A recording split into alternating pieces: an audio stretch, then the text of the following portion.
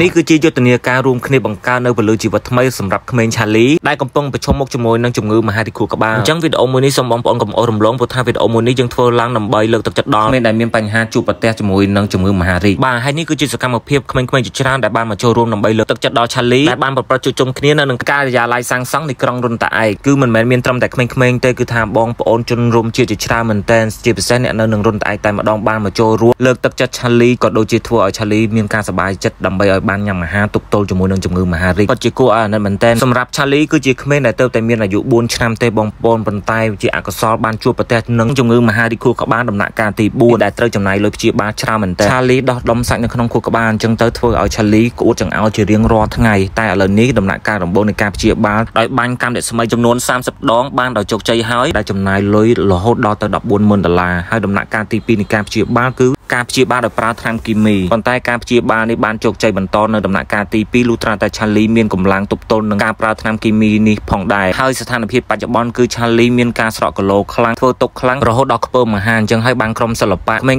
ៗបានលើកទឹកចិត្តយកផ្លែឈើទៅឲ្យឆាលីឆាលីដើរត្រេតត្រោតហើយអាចជិះកង់បាននេះដោយសារតែកម្លាំងចិត្តនិងការសប្បាយចិត្តពីក្មេងៗទាំងអស់នោះផងដែរមួយវិញទៀតបងប្អូនសប្បុរសធម៌ក៏ដូចជាជនរួមជាតិបានជួយទៅដល់កូនគាត់ជាច្រើនមែនទែនអញ្ចឹងហើយឪពុកម្ដាយឆាលីក៏គាត់មានទឹកចិត្តចង់ជួយទៅដល់ក្មេងៗនៃក្រុមសិល្បៈមួយនេះរហូតដល់107នាក់ដែលភាគច្រើនគឺជាក្មេងកំព្រាឬក៏ក្មេងដែលឪពុកម្ដាយទៅធ្វើការឆ្ងាយឆ្ងាយមិនមានពេលគ្រប់គ្រាន់មើលថែកូនដែលក្មេងៗទាំង107នាក់នេះត្រូវបានរស់នៅនិងផ្គត់ផ្គង់ដោយលោកគ្រូ2នាក់គឺលោកគ្រូណារីនិងលោកគ្រូធឿននៅនឹងក្រុងរុនតាឯកដែលពួកគាត់ក្រុងនឹងបើកសមាគមសិល្បៈដែលមានឈ្មោះថាសមាគមសិល្បៈរុនតាឯកដោយមានការស្នើសុំពីក្រុមហ៊ុន Agent 21 Global ឲ្យដាក់បញ្ចូលជាសមាគមក៏ដូចជាការស្នើសុំទៅដល់នាយកសាលារុនតាឯកដើម្បីដាក់បញ្ចូលកម្មវិធីសិក្សានៃផ្នែកសិល្បៈនេះផងដែរយ៉ាងណាមិញសមាគមសិល្បៈមួយនេះក៏ត្រូវការការគ្រប់គ្រងក៏ដូចជាថវិកាពីបងប្អូនសប្បុរសធម៌ជនរួមជាតិទាំងក្នុងស្រុកនិងក្រៅស្រុកដើម្បីជួយដល់ក្មេងៗក៏ដូចជាលើកកម្ពស់ដល់វប្បធម៌សិល្បៈខ្មែរយើងដោយសារតែឆាលីចង់បានចង់ឃើញជាមួយនឹងខ្មុកស្វាម៉ាំស្វាអញ្ចឹងហើយបានខាងក្មេងៗទាំង107នាក់នេះបានមកចូលរួមដើម្បីឲ្យឆាលីសប្បាយចិត្តប្រឹងញ៉ាំអាហារដើម្បីត